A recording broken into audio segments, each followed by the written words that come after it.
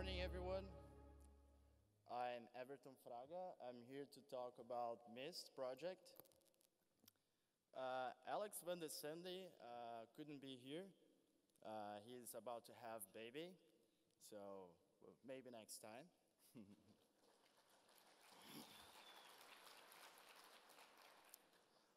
well, we're here to talk about MIST project.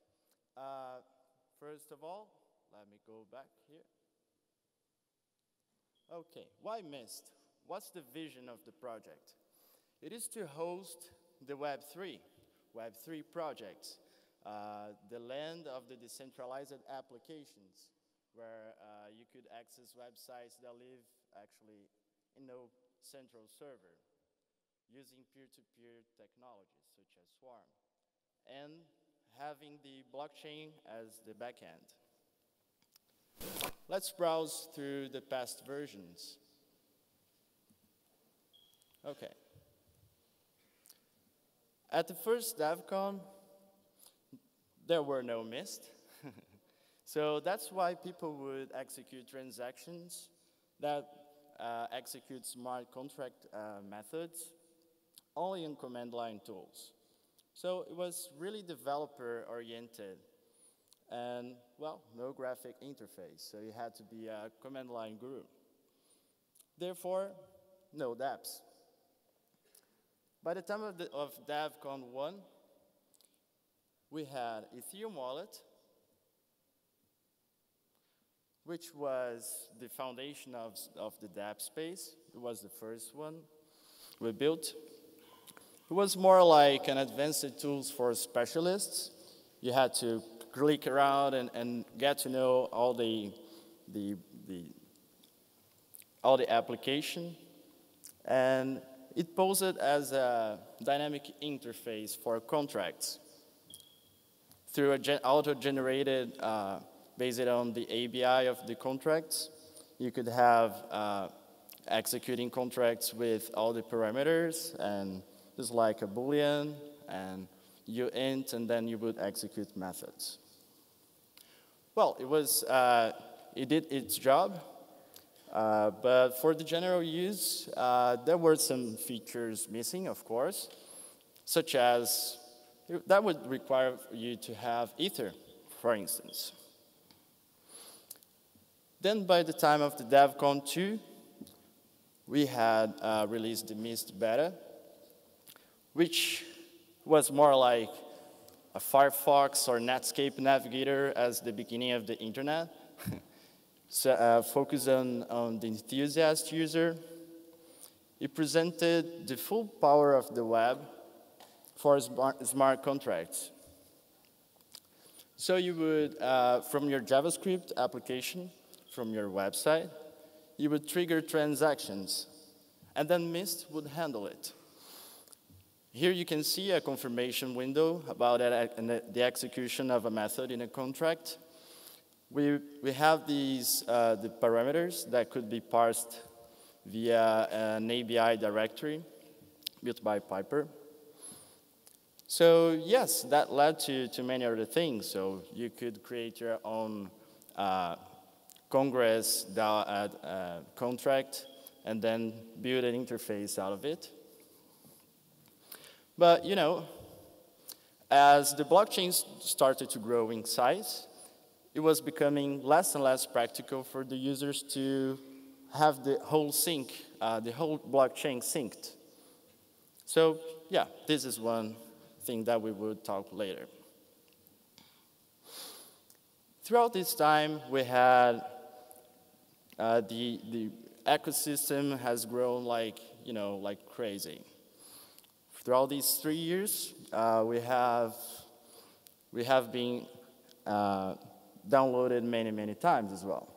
So I'm here proud to share with you that Ethereum Wallet and Mist combined had been downloaded more than 2.6 million times. so that's...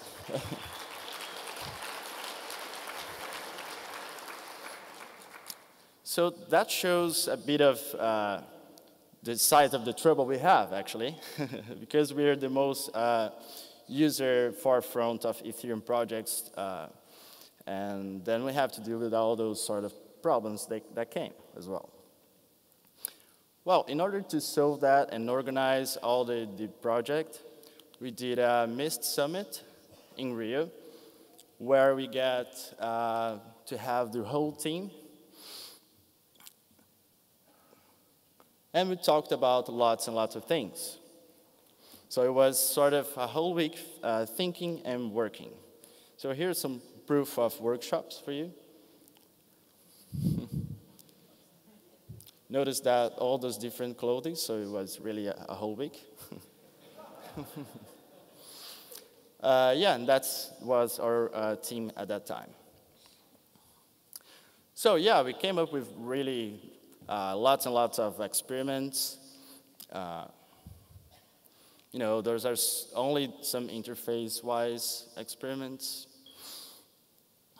So let's get to the delivered features this year. Uh, first and foremost, our main, main concern is uh, security because, well, we have a browser that handles private keys. So it gets, you know, it's not so simple as would be a simple website that doesn't handle anything related to money, for instance. Well, let's put a ribbon on this because it's so important. So uh, we've made an extensive audit by Cure53, which is a really, really cool uh, German company. Uh, those guys are really skilled. And they managed to, found, to find 22 issues with varying severity levels. So it has some critical ones, high, medium, and low. All of those were fixed by us. As soon as they, they uh, reached us, we, we were ready to fix. And we increased our test suite, so uh, no regressions here. And also we had some really important Ethereum uh, bounty program submissions. And here I'd like to thank uh, Juno and New Ho Kim. Really, you know, thank you.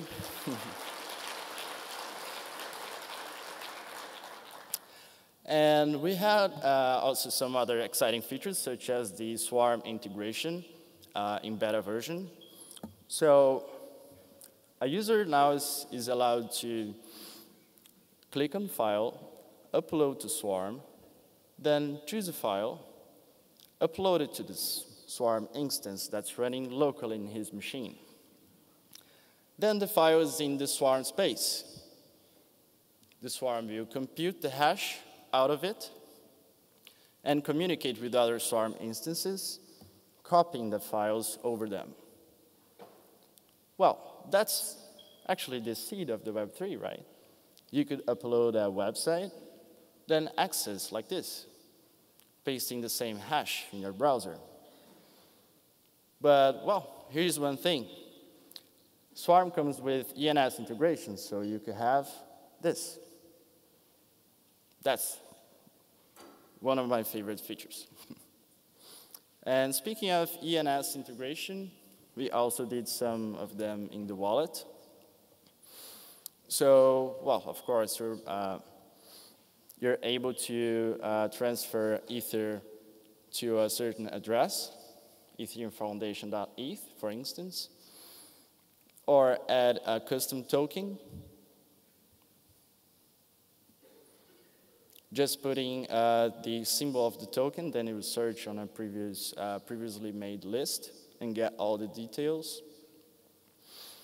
Uh, then, after, so, after these three years, as I told you, uh, the sync was sort of a problem for the users. We got many, many people saying, my balance is still zero. I'm I'm seeking here for, you know, hours and I can't still see my stuff. So we have now integrated Mist with the Light client. Still in beta version, uh, but they, we are aiming to reduce the syncing times by an order of magnitude and is still using the version 1 of the protocol. The version 2 is about to, to come, uh, maybe right after the DevCon. So keep posted on Go Ethereum uh, team and Mist. We have also built-in Remix IDE. So we've seen uh, Hudson Jameson, we'll see Ian's talk uh, right after mine, actually. Uh, and now we have the, the possibility to, for a developer to write code, run on the mainnet or on the test nets, uh, and that's quite powerful. The developer is also able to debug transactions to see what, exactly what steps that transaction made and what were the, state, uh, the states of the variables. So we also did uh, a really easy way for the developer user, which is Solo Network.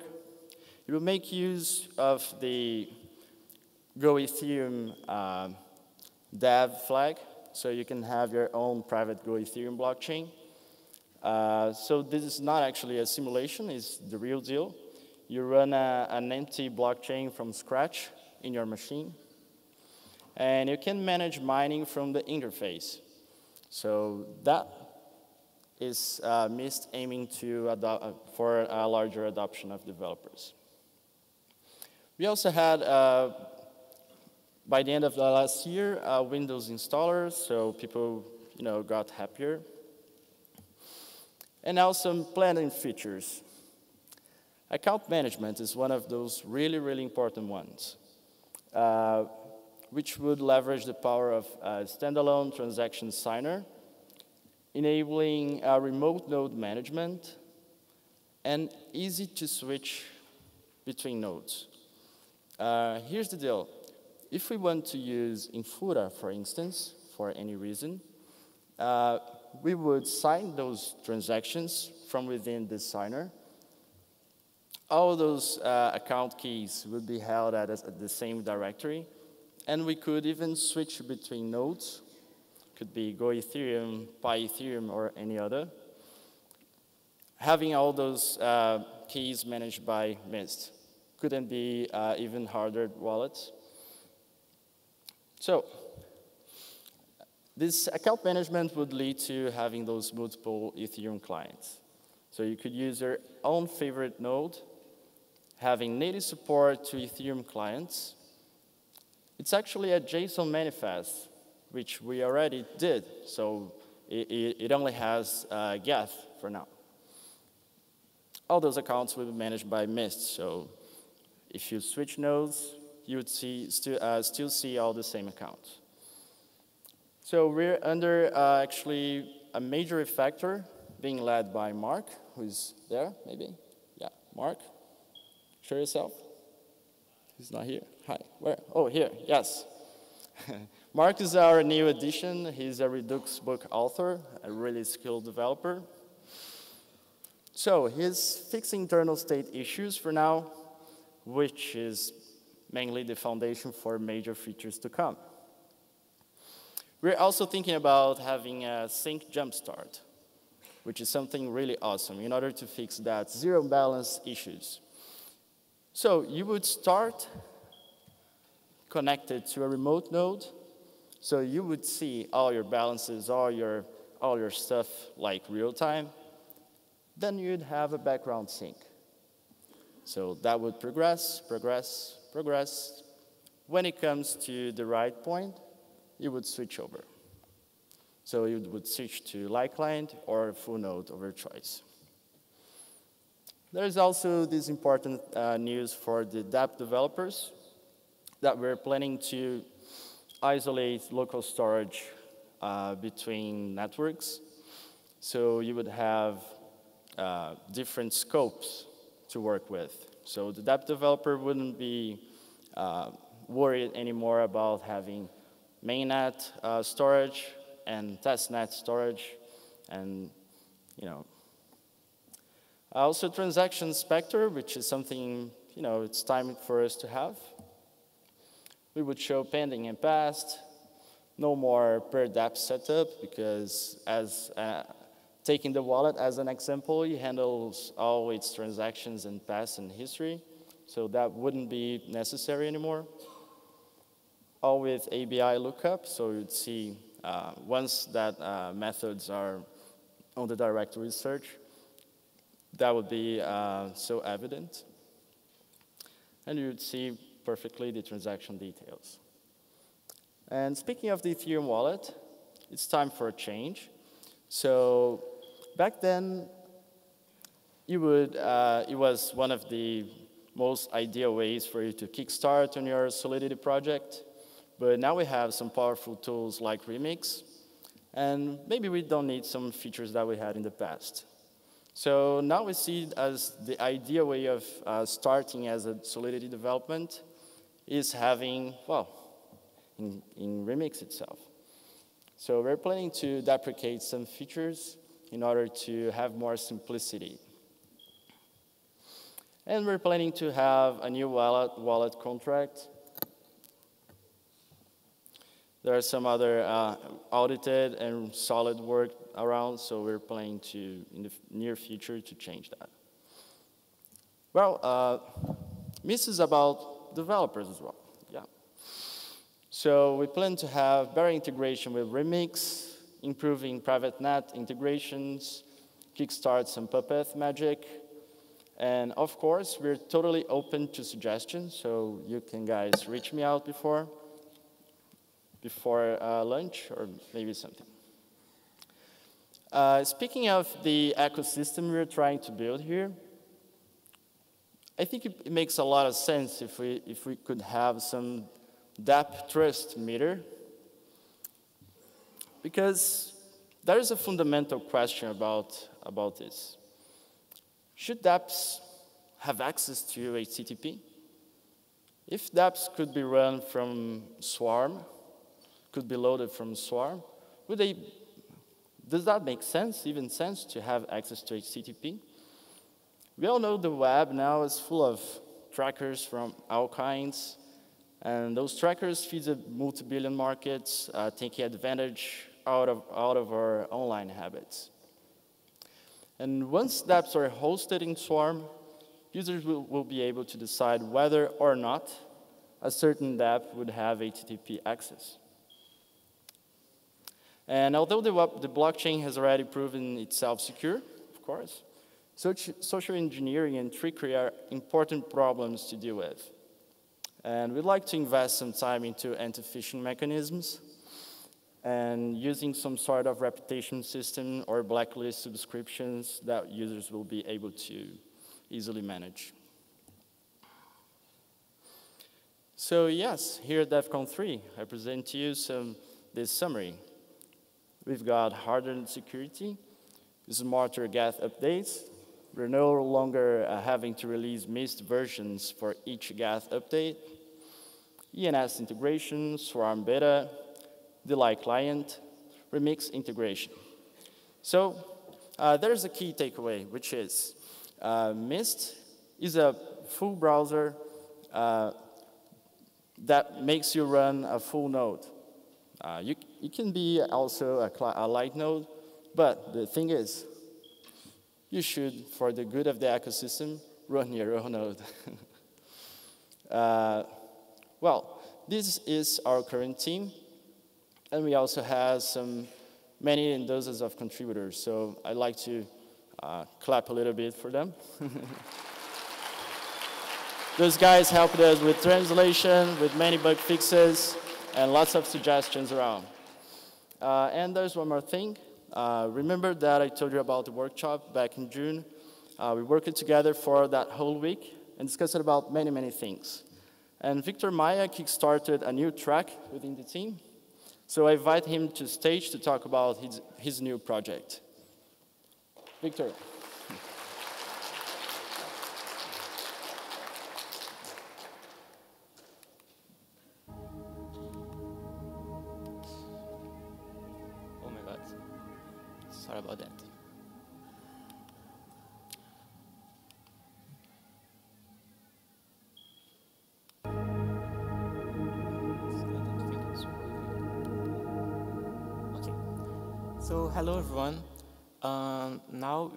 Show you show you something new. So are you ready? Um, I think everyone here dreams about a decentralized web, a world of abundance where there are no companies, where nobody owns anything. There are just public dApps and DAOs that are um, easily forkable, resilient, and free. Can you imagine that world? Well, of course you can. If Ethereum is that thing, but for backend services. So what about the front end? What about user interface? Well, it has been two years since our launch, and yet most dApps are still just centralized companies with tokens. They are hosted on central computer. They use centralized APIs. So where is the decentralized web? Why it's not happening? Um, let's talk about Mist. Um, oops. This is our code. Um, as you know, it's not in a great state now, right now. Um, Mist is a little, a little bit slow, it has some bugs. Uh, of course, we're working to improve it, and we believe we can make it much, much better now with Mark on our team. But even if Mist itself was perfect, even if that thing was flawless, will that be enough? Well, what about those? Browsers like Mist depend on a huge web stack. There are millions of lines of code that we do not control. And we already had two major vulnerabilities because of those things. So the point is, how can we prove those things to be secure? Well, we can't. And that's a serious problem for a browser that deals with real money, don't you think? So, and even if that was not the case, if those things were perfect, what about those things above? Well, let's talk about JavaScript.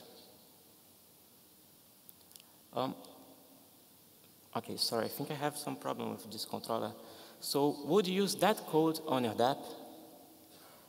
No, really, think about it. Is it safe to use that thing on dApp?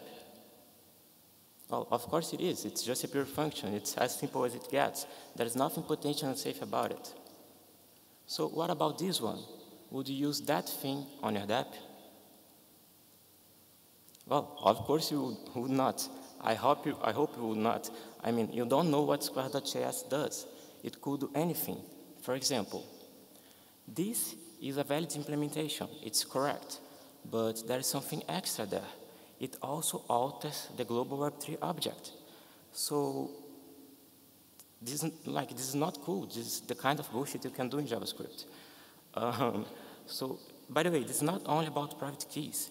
Um, hacking the global scope of a dApp can cause it to, for example, uh, show misleading info, track user actions, mine cryptocurrencies on your computer.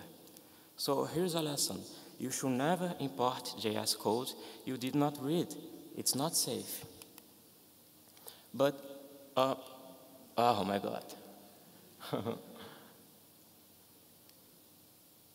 I think, let me just try something. Okay, I'll just use the arrows.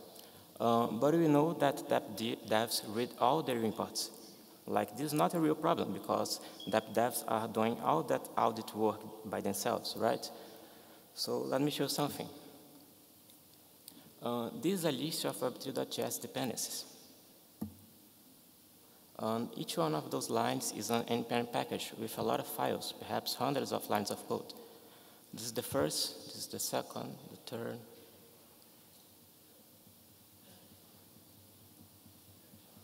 All those are Web2.js dependencies. And my question is, um, have you dApp devs around here read all of them? Any of them could be hiding something like this anywhere. So the point I'm trying to make is, um, for that and many other reasons that I don't have the time to explain, the web as we know it was not made and it's not ready for crypto.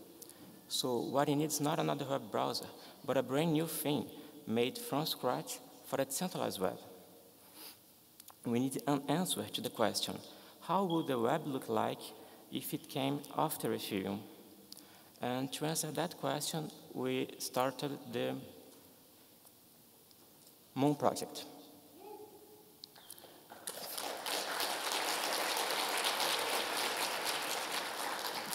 Thank you so much. So this is not another web browser, but an actual decentralized app engine that is lightweight and performant. Uh, uses a scripting language with safe modularity so people can share code without needing to audit everything. And that language is kind of like JavaScript, but without the bad things. And is small enough to be formally proven secure. And if those words sound a little bit scary, um, that just means a computer, not a human, can verify that the whole thing does not have a single vulnerability. And that's kind of a big deal. So in short, oh my God, sorry. So in short, this is what you have, and this is what you're building.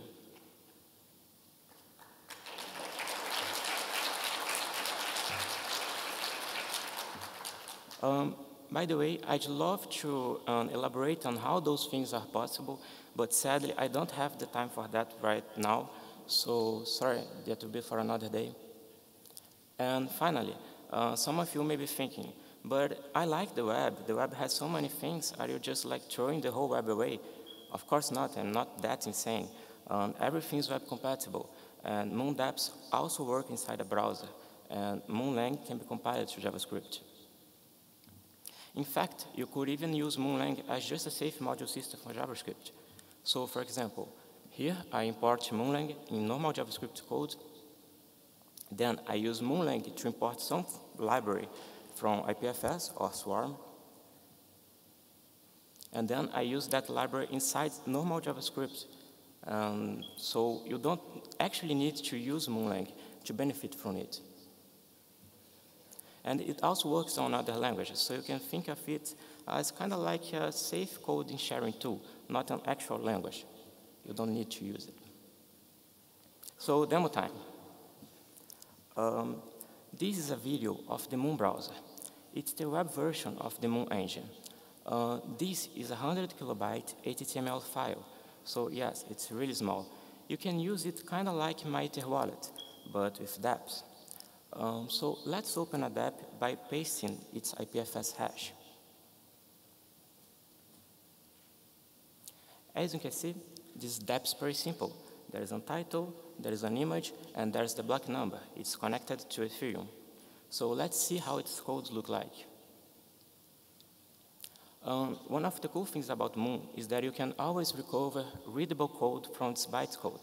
So it's not actually plain text as we do on the web. We recover readable code from the bytecode. Um, above there, we have imports with just IPFS hashes. And that's good because with that we can make sure that those imports will never change. Um, there we have the main components with some things like its name, its local state, and a title. Um, there is a fetch function. Um, it gets data from Ethereum. Since Moon is a pure language, we need to use something called monads to do that. But you don't need to worry about that because that's very hidden. And finally, we have the render function. It's kind of like React, so I guess some of you may be familiar with that already. So let's change some things. Um, here we replace Moon by DevCon on the body. We also do that on the title. And now I want you to pay attention to the hash bar, to the title above there. As you can see, not only the title, but the hash itself has changed. That means the new dApp is already published on IPFS, or in other words, we just hard forked that dApp. That's kind of cool, don't you think? Um, of course, this is a very simple dApp, so let's open something more useful. Um, this is a token wallet. Um, there's, some, there's no Ether on this account, so let's send some Ether to it.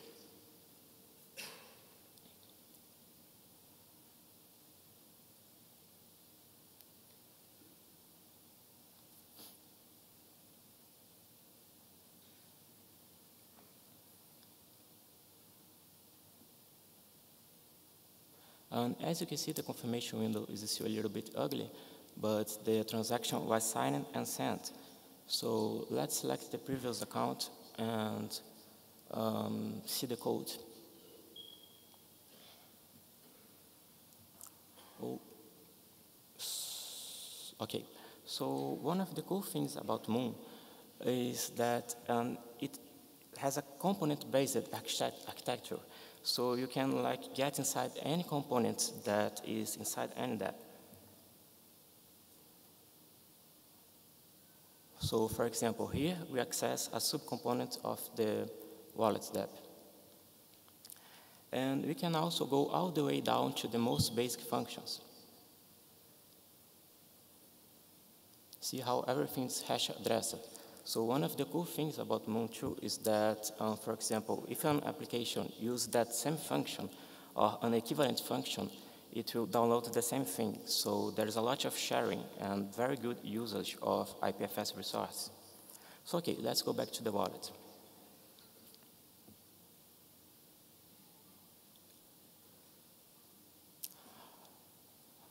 Um, as you can see, our reheater has arrived, so that's kind of cool. Um, and for the last thing, let's open again the token table.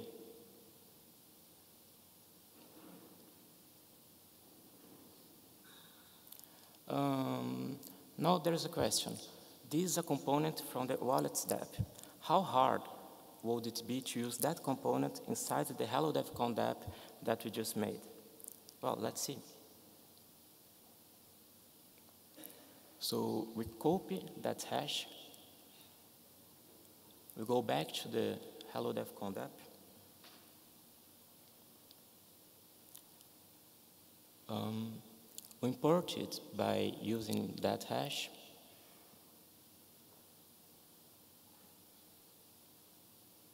Oh, sorry. Um, I actually go back, so because I want to show some things and I pressed the arrow on the wrong timing. So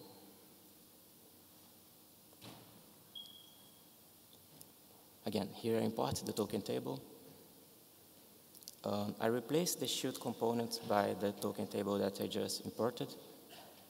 I remove the moon image, so it's the same place as the moon image would be. And we click above there, it's forked. And as you can see, that component is now working inside the Hello DevCon app. And doing that kind of thing is always safe. So you can always take a component from some other dApp and put it in your dApp. And because Moon is pure and made to be secure, you can always do that without worrying at all. So in short, a dApp engine that can be formally proven secure, and a scripting language where sharing code is always safe, and a truly forkable web. That's the Moon project. And if you want to try it, we have a live demo at that URL. Thank you.